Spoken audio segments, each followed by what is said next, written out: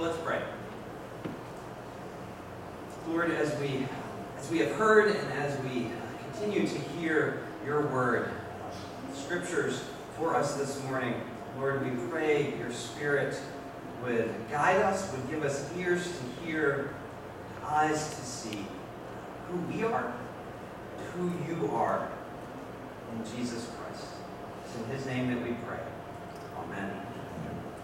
So this morning, um, I want to start off by asking you a question. Uh, you don't have to answer out loud, uh, but just think for a minute uh, how you would answer. The question is, who are you? Who are you? Think about how you would answer that question. There are, there are lots of different ways to kind of approach that question, aren't there? Right? For some of us, we may, we may first think of, uh, of what we do for a living, right? I, I'm an artist, I'm a student, I'm a computer programmer, I'm a teacher. Or we may think of it in terms of what our hobbies are, or our likes and dislikes. I'm a Patriots fan. I don't like the Yankees. I'm a Star Wars fan. I'm a golfer. I'm a stamp collector. I'm someone who enjoys cooking or gardening, right? We can answer, answer that question with, with those sorts of answers. Or maybe we, we hear that question and we think of, think of it in terms of our, of our personality or, or the characteristics we see in ourselves, right? I'm, I'm outgoing in the life of the party. Or, or, right, or who am I? Well, I'm a, I'm a quiet person who likes time to myself. Or who am I? I'm kind, I'm a kind and generous person. Or maybe it's a little more nuanced, right? Who am I? Well, someone who wants to be kind and generous, but I'm really just someone who has a hard time living up to that. Or maybe, and maybe this is because of where you happen to be this morning when I asked you that question, right? This is where you're sitting right now. Your first thought to that was, was a good church answer, right? Who am I? I'm a child of God. Or I'm a sinner redeemed by Christ. Or maybe even it was, I'm here, but I'm just trying to figure this all out. Right now, the thing is that, that all of those ways of, of thinking about that question, those are all good and fine ways to, to approach it, right? All of those angles to that question are, they all try to get at different aspects of, who we are, because we are, all of us, we are, we are multifaceted, complex people, right?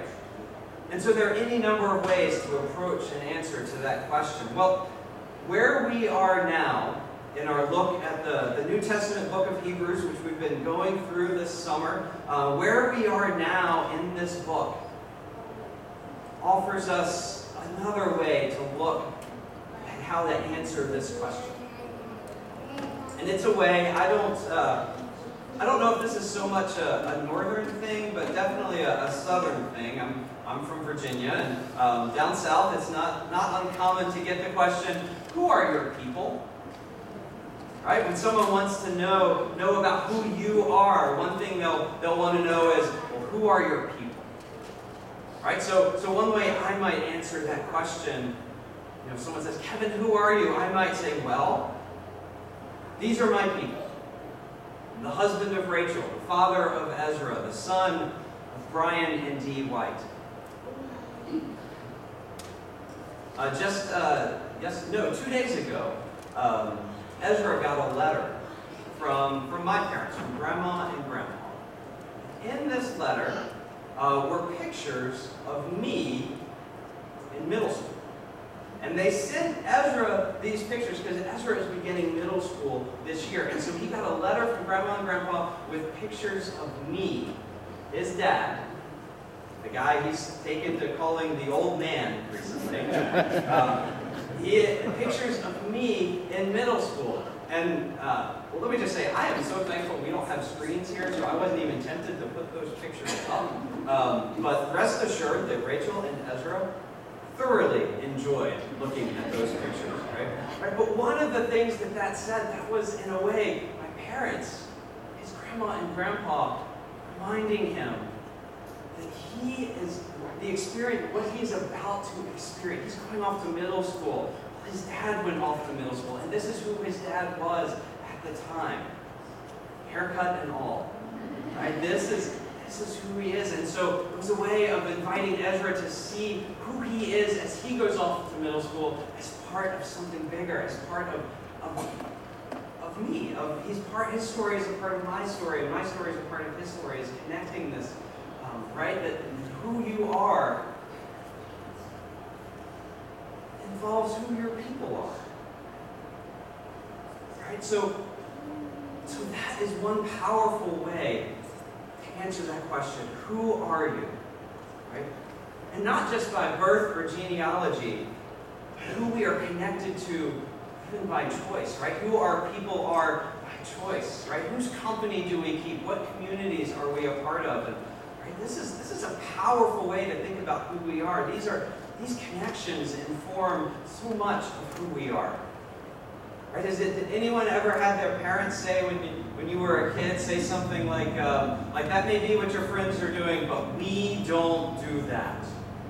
Anyway, I'm seeing some people nodding. Yeah, anybody, anybody hear that, right? The idea being that, that being a part of, of this community, in this case maybe a family, that do this is this is there's expectations. Part of being who you are acting in this way or thinking this way or doing this, right? Right? Doing this or, or not doing that is, is a part of what it means to, to be a part of or be among this particular community. Right now, sometimes maybe with a, a club or whatever, that can mean we don't do this, so if you do, you're out. But other times, and, and hopefully this is the case with families, right? For example, it can be it can be more of a call when they say we don't do that. It's a call and a reminder to live to live into what is true and defines you as, as a member of this community because being a member also defines who you are. That's what's going on in this section of Hebrews that we are coming to today. The Bible as a whole gives us a, a whole host of ways to approach this question of, of who are you, or maybe just as often, if not more, who are we? Here in Hebrews, it's approaching it from this angle, this perspective of, of who are you? Well, who are your people? So what I want to do for, for most of the rest of the time here is, uh, is say a few words about, about what leads into this part of Hebrews, and then, and then we're going to look at Hebrews chapter 11 and just a little bit of, of chapter 12. But we're going to do it a little bit differently. Um, as we've been looking at this New Testament book, I've, I've been encouraging us to see it, uh, to see Hebrews, uh, and, and this is nothing new that I came up with. I am standing on the shoulders of, of many uh, who have come before me and are much smarter than me, but, but inviting us to, to see this primarily, the book of Hebrews, we see it primarily as what it really seems to have been, just a letter, but a sermon. And a sermon preached to a particular early Christian congregation or group of congregations.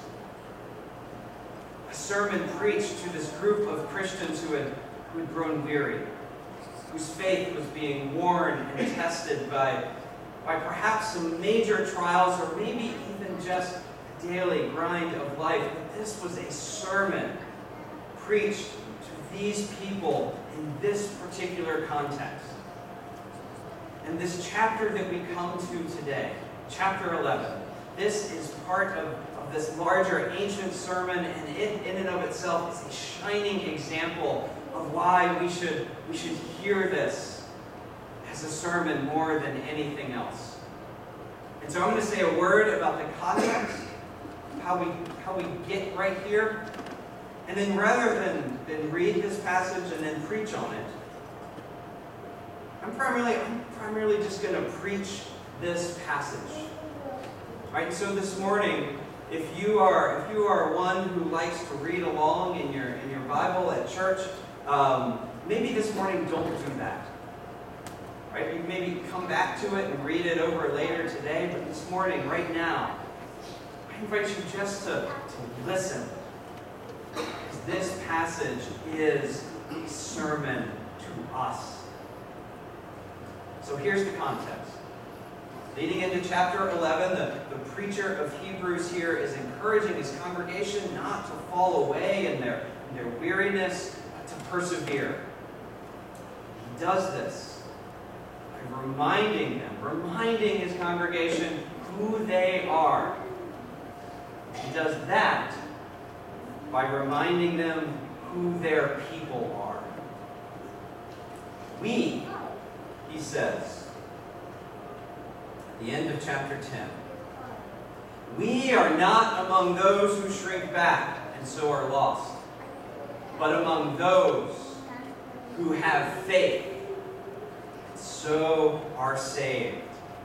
Now, faith, he goes on to proclaim to his congregation. Now, faith. Now, faith, Calvin Presbyterian Church. Now, faith is the assurance of things hoped for and the conviction of things not seen. Indeed, by faith, our ancestors received approval. By faith, we, family, we understand that the worlds were prepared by the Word of God, so that what is seen was made from things that are not visible. By faith, Abel Abel offered to God a more acceptable sacrifice than Cain's. Through this, he received approval as righteous. God himself giving approval to his gifts. Now, he died, but through his faith, he still speaks. By faith, Enoch was taken so that he did not experience death, and he was not found because God had taken him. For it was attested before he was taken away that he had pleased God. And without faith, family, without faith, it is impossible to please God. For whoever would approach him must believe that he exists and that he rewards those who seek him. Not, by the way, those who get it right all the time, or maybe even most of the time, but those who seek him. By faith, Noah warned by God about events yet unseen, respected the warning, and built an ark to save his household. By this he condemned the world and became an heir to the righteousness that is in accordance with faith. By faith, family, by faith, Abraham obeyed when he was called to set out for a place that he was to receive as an inheritance. And he set out, not knowing where he was going by faith, he stayed for a time in the land that had been promised, as in a foreign land, living in tents, as did Isaac and Jacob, who were heirs with him the same promises. By faith, he received power of procreation even though he was too old. And Sarah herself was barren because he considered him faithful who had promised. Therefore, one person. This one as good as dead. From this one person, descendants were born, as many as the stars in the heavens and as innumerable as the grains of sand by the seashore. Brothers and sisters, all of these, they died in faith without having received the promises from a distance. From a distance, they saw and greeted them. They confess that they were strangers and foreigners on the earth. For people who speak in this way, make it clear that they are seeking a homeland. Now, if they had been thinking of the land they had left behind, well, they would have had opportunity to return. But as it is, family, they desire a better country. That is a heavenly one. Therefore, God is not ashamed to be called their God. Indeed, He has prepared a city for them. By faith, Abraham, when put to the test, he offered up Isaac. He who had received the promises, ready to offer up his only son, the very one of whom he'd been told it is through Isaac that descendants shall be named for you. For he, family, and hear me in this, he considered the fact that God is able to even raise someone from the dead. Figuratively speaking, mind you, he did receive him back, didn't he? By faith, Isaac invoked blessings for the future on Jacob and Esau. By faith, Jacob, when dying, blessed each of the sons of Joseph, bowing in worship over the top of his staff. By faith, Joseph, at the end of his life, made mention of the exodus of the Israelites and gave instructions about his burial. By faith, Moses.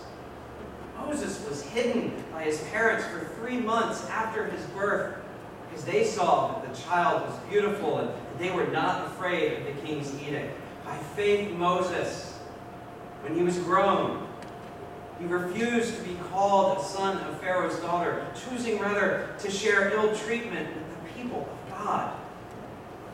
Rather than to enjoy the fleeting pleasures of sin, he considered abuse suffered for Christ, the Messiah, to be greater wealth than the treasures of Egypt, for he was looking ahead to the reward.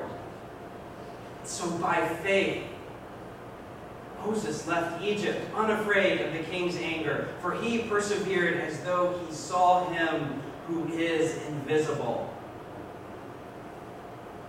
By faith, by faith, kept the Passover, the sprinkling of blood, so that the destroyer of the firstborn would not touch the firstborn Israel. By faith, the people passed through the Red Sea as if it were dry land. But when the Egyptians attempted to do so, they were drowned. By faith, the walls of Jericho fell after they had been encircled for seven, seven days. By faith, Rahab, the prostitute, did not perish with those who were unbelieving because she had received the spies in peace. And, and what more, family? What more should I say up here, right? We could go on and on and on. But time would fail us to tell of Gideon, Barak, Samson, and Jephthah, of David and Samuel and the prophets. There's prophets who, who through faith conquered kingdoms, administered justice, obtained promises, shut the mouths of lions, quenched raging fire, escaped the edge of the sword, won strength out of weakness, became mighty in war, put foreign armies to flight. Women received their dead by resurrection. Others were tortured, refusing to accept release in order to obtain a better resurrection. Others suffered mocking, flogging, and even chains and imprisonment. They were stoned to death. They were, sawn in two. They were tempted, and they were killed by the sword. They went about in skins of sheep and goats, destitute, persecuted, tormented, whom the world was not worthy. They Wandered in deserts and mountains, in caves and in holes in the ground. Yet all these, though they were commended for their faith, they did not receive what was promised since God had provided something better so that they would not part from us, family, so that they would not, apart from us, be made perfect. I may. Their faith and their witness Family, it would not be brought to its fullness unless it had been passed on and received, unless the baton is handed over and the race continues to be run by us. Though they were commended for their faith, did not receive what was promised, God had provided something better, so that they would not, apart from us, be made perfect. They would not, apart from us, receiving and joining in and running with that inheritance, have the witness of their faith reach its fulfillment. Therefore, therefore, family, since we, Calvin Presbyterian Church, therefore, since we, Deanna, Roger, Robin family, Fran, Judy, Rachel, Ezra, therefore, since we, Brad, Derek, therefore, since we, Josh, Walter, Judy, therefore, since we are surrounded by so great a cloud of witnesses, let us also lay aside every weight the sin that so easily clings so closely, that, so easily distracts. And let us run with perseverance the race that is set before us. All of us together looking to Jesus, the pioneer and perfecter of our faith. For the sake of the joy set before him, endured the cross, disregarding its shame. Has taken his seat at the right hand of the throne of God. So here's that question again. Who are you? Because these are your people.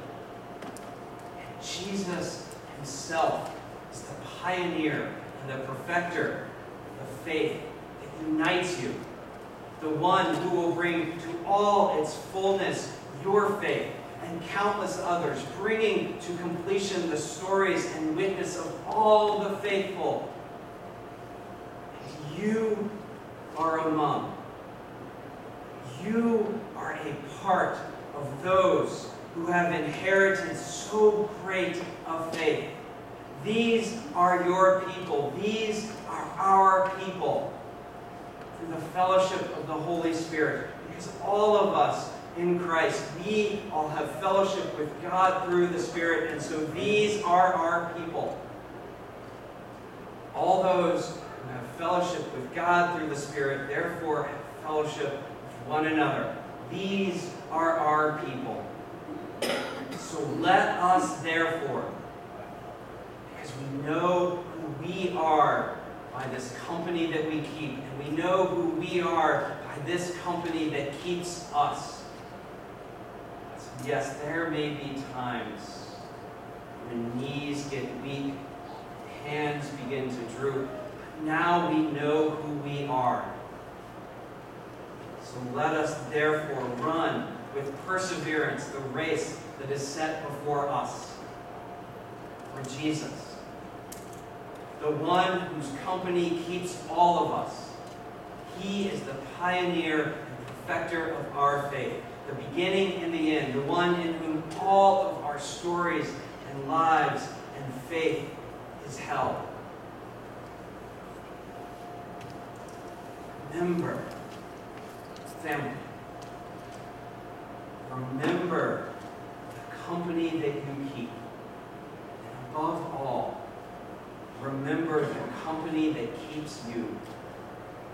So that we too may run this race in such a way that the inheritance continues on and on and on until Jesus himself brings all to its fulfillment. Remember who you are. Let's pray. Lord, for the gift, the witness, the lives of so many faithful that have gone before us, who have spoken words of hope and promise, your words of hope and promise into our lives.